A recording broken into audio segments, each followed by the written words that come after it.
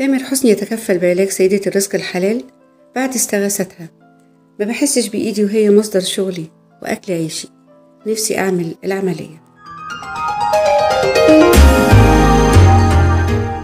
في صباح كل يوم جديد تستيقظ السيدة رضا المعروفة إعلاميا بسيدة الرزق الحلال. وتذهب من بلدتها نهية إلى وسط العاصمة. تظل أمام نيران الفرن لتطهو أشهى أنواع الخبز لأحد المطاعم مقابل الحصول على قوت يومها بعدما توفى زوجها وترك لها أولاد وأحفاد باتت هي الأم والأب والجدة والجد لهم. تحاول تحقيق أمانيهم بقدر ما استطاعت. فبين ليلة وضحاها وتحديدا في شهر رمضان المبارك 2021 أصبحت السيدة رضا المعروفة إعلاميا بسيدة الرزق الحلال حديث الملايين من المصريين. بعدما ظهرت في مقطع فيديو وهي ترفض استلام بعض الأموال كهدية. من مذيع الشارع. عقب فوزها في مسابقة معربة عن خوفها بشأن حرمانية تلك الأموال. إذ لم تعمل أو تشقى بها على حد وصفها متسائلة.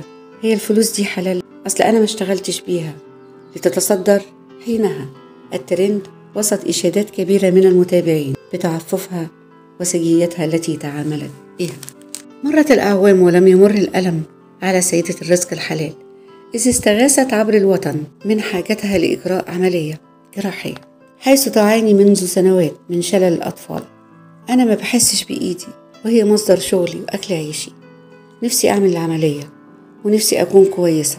فعلى الرغم من فوزها بالأموال لكنها لم تلتفت لنفسها في المقام الأول. لما خدت الفلوس اتبرعت بجزء منها لليتيمة اللي عايزة تتجهز. والطفل محتاج حاجة كانوا أولى مني وقتها. وعقب نشر الوطن استغاثة السيدة رضا المعروفة إعلاميا بسيدة الرزق الحلال استجاب الفنان تامر حسني للأمر. استواصل مكتبه بالوطن متعهدا بتكفله بعلاج السيدة وأراد التواصل معها لتلبية طلباتها. على الفور وجهت السيدة رضا الشكر للفنان تامر حسني معربة عن سعادتها وملاها في نجاح العملية.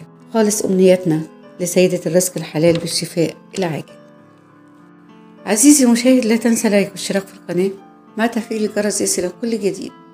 مع أجمل ورقة تحياتي وتحيات أسر الثقافة ومعلومة. تابعونا.